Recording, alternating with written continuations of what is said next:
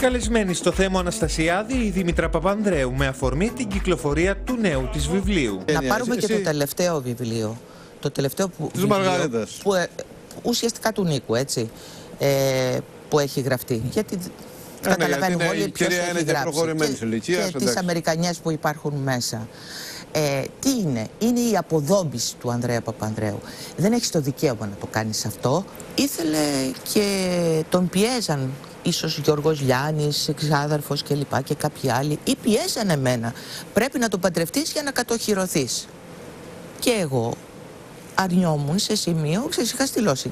Τι μου λέτε, αυτό θα δεν, κάνω. ήθε- δεν ήθελες. Ποιοι σε πίεζαν. Όχι, δεν ήθελα για να το παντρευτώ στο νοσοκομείο γιατί κινδύνευε, λέει, να πεθάνει.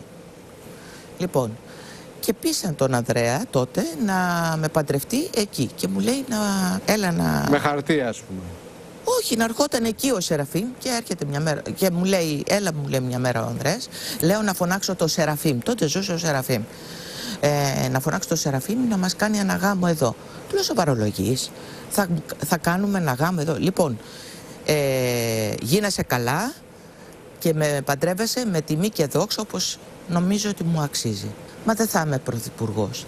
Και, και επειδή δεν θα είσαι πρωθυπουργός, θα είσαι ο, θα είσαι, ο, θα είσαι αξιωματική αντιπολίτευση. Και λοιπόν, σε παντρεύομαι επειδή θα είσαι πρωθυπουργός. Ο Ανδρέας αγαπούσε, ήταν ανοιχτός στη ζωή του. Θα μπορούσε να ήταν μια γνωριμία φιλική ή ερωτική και να μην είχε προχωρήσει. Θα μπορούσε. Θα μπορούσε. Ήμουν Κάλεσε. διατεθειμένη για τα πάντα.